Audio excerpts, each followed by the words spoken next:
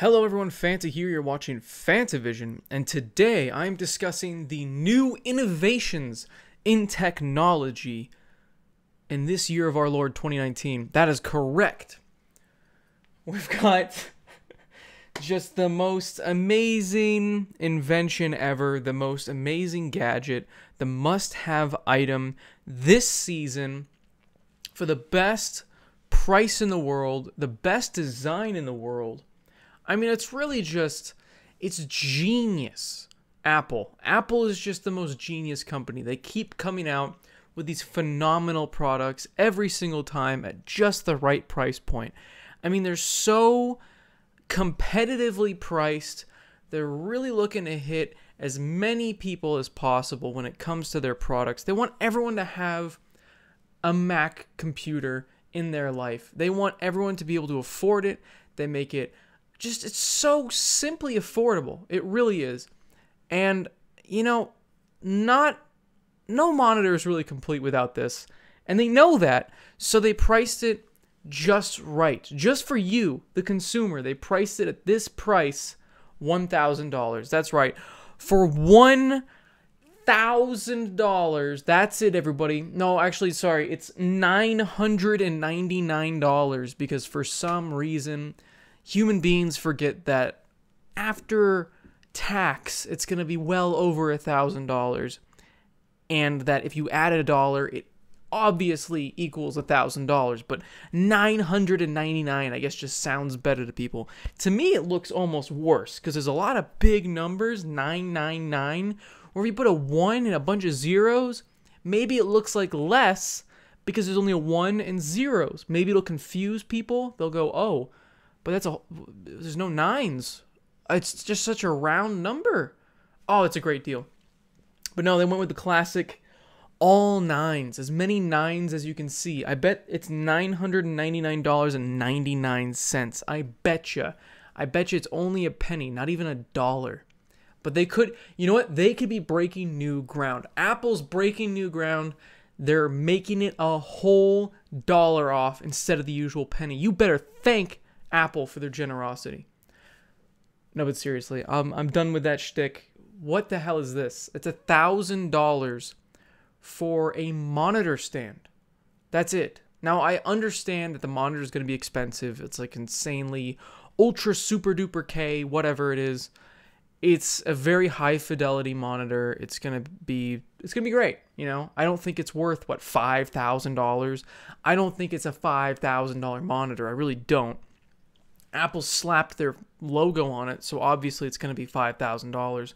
Their computer's what, $6,000? And then there's an article saying that if you completely upgraded it, it's upwards of like 32 to $40,000 if you put real components in it. It's ridiculous. It's just insane how they price their products over at Apple. I mean, I get that their phones honestly are kind of what the market is now, which is sad that that's what the market is now for a phone. It's a thousand dollars and that's normal. But because all of these companies have to have that phone be a thousand dollars, or they're like, oh, well, it's a budget phone. It's obviously a piece of crap. I don't want, I don't want to buy that phone because it's under a thousand dollars. So they have to all bump it up to a thousand dollars. Thankfully, we're, we're they're bucking that trend a bit. Samsung came out with the seven hundred and fifty dollar phone. Oh, how revolutionary! Thankfully, at least there's there's some. I mean, even Apple I think had a 750 option. They're starting to come come down with the phones again. They ramped up. Maybe it'll be a bell curve. Maybe it'll start going down again.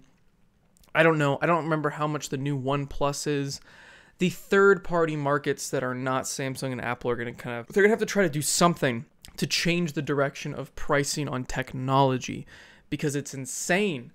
Why is this a thousand dollars? I've tried my best to figure out what in the world they've put in this thing to make I don't even know what they were thinking. Thousand dollars.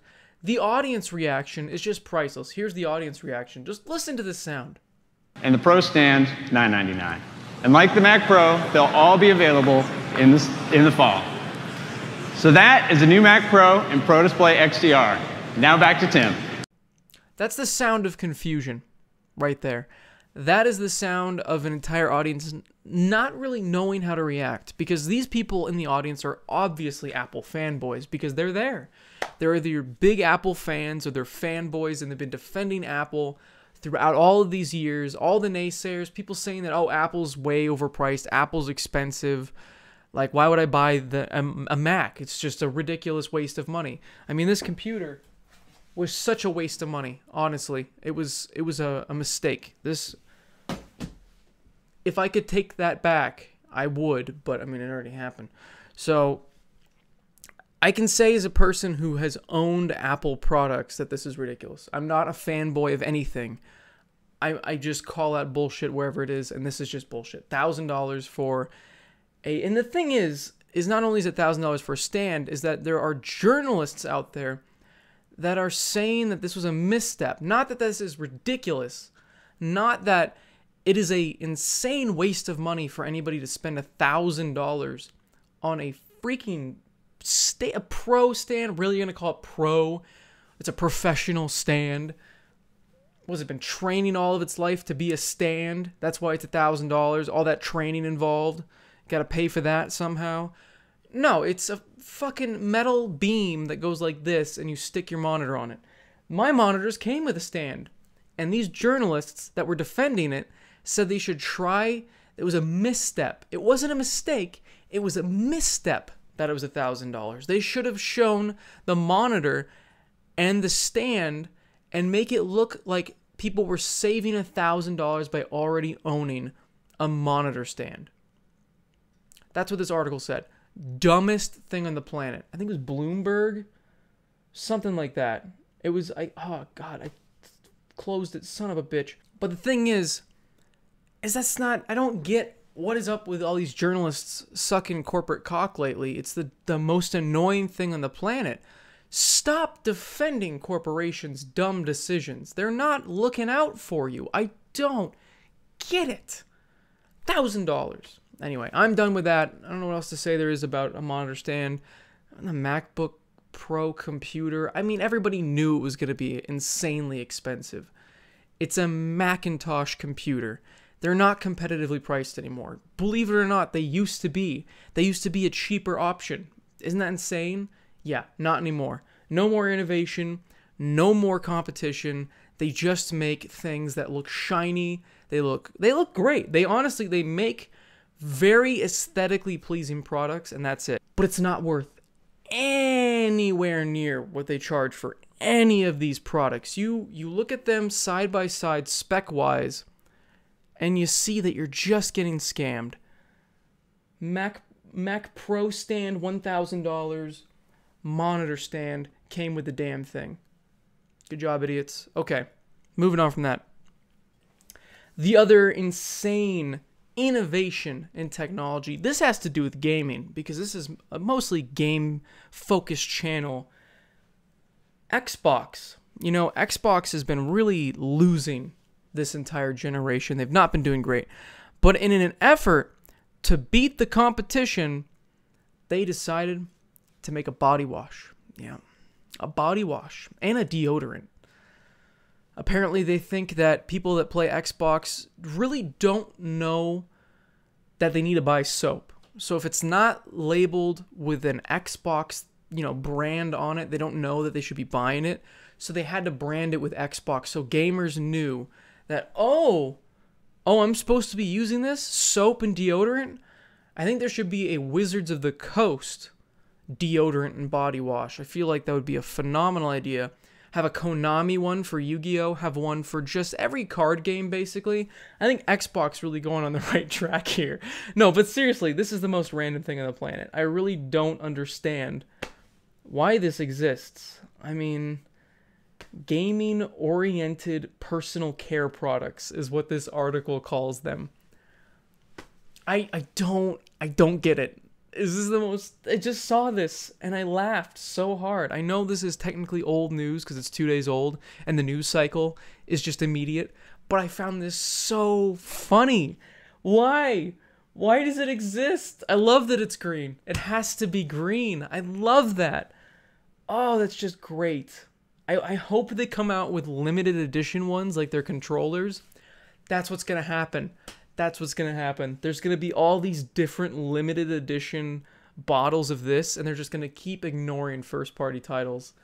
Oh, that's just wonderful. I love it. I love it. I almost I almost want to buy some when it comes out just to talk about it on the channel. Let me know in the comments if you care that much about gaming oriented personal care products that you want me to review them.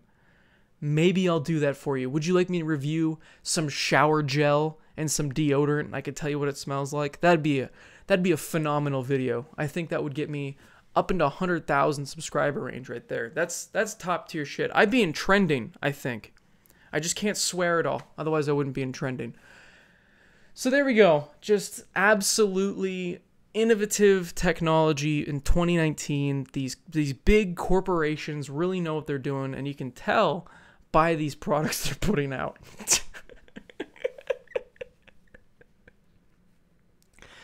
okay. Thanks for watching everyone. Have a fantastic day. Ah, it's just so funny. I really wanted to make. I don't even know how many. It's probably gonna get like five views, but I thought it was funny. I'm, I'm gonna name it something stupid like game or technology innovate the best technology innovations of 2019. I'm gonna have a a picture of me going like this. Maybe I don't know. We'll see. It'll be great. By the way, I'm drinking Leinenkugel Summer Shandy. I know a lot of people have told me that they've bought this specifically because I've recommended it. And I must say, great choice for following my advice because it's phenomenal. And everybody who's tried it has loved it, except for my girlfriend. But besides her, she doesn't like beer anyway. Everyone's loved this. And some people have sent me messages saying how much they love it. They've taken videos and pictures of it and stuff. And some people gave me a great idea. They told me that I should ask them to sponsor me on the channel because I have actually gotten people to buy the beer. And I'm thinking to myself, you know, I don't have a whole ton of subscribers, but I mean, what YouTuber is sponsored by a beer brand? I'm sure there are people sponsored by Budweiser and stuff, but Leinenkugel? I don't know. Maybe that's an untapped market.